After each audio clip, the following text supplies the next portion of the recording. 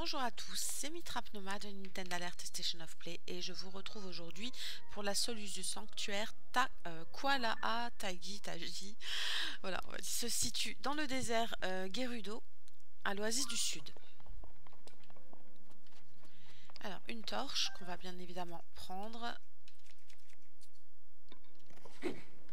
On l'utilise, on la jette ici une fois qu'elle est euh, enflammée pour ouvrir le mécanisme de la porte. Vous montez ensuite à l'échelle. Il y a une bougie qu'on va aller chercher. Et le but va être d'allumer les trois structures.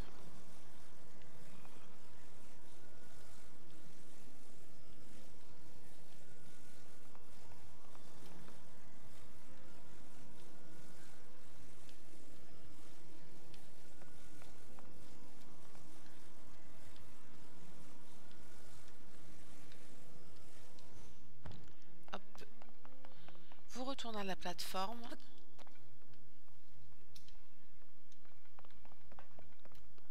Et on va utiliser euh, le retour arrière.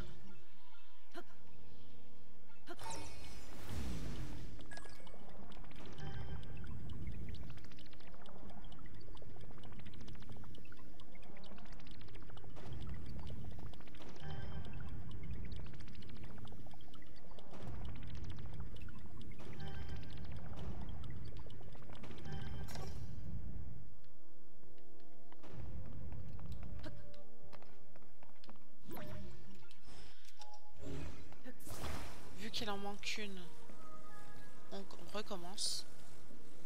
Donc vous voyez en fait le but, on monte et on descend la bougie, c'est pour après, lorsqu'on va activer le mécanisme plus loin, et ben que ça se, que ça s'allume tout simplement. Donc on recommence avec hop, retour arrière, on appuie.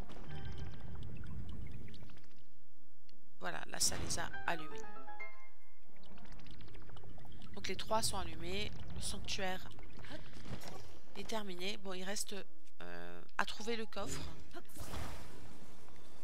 Alors pour le coffre, c'est pareil. On va utiliser la bougie. Donc on se met dessus sur le, sur le mécanisme. On, on soulève plusieurs fois la bougie pour pouvoir après utiliser retour euh, arrière ce qui va faire que la plateforme en face va monter et descendre et on va pouvoir accéder au coffre.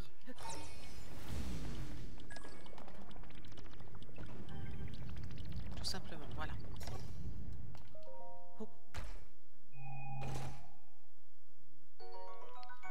Donc c'est un arc, c'est très bien.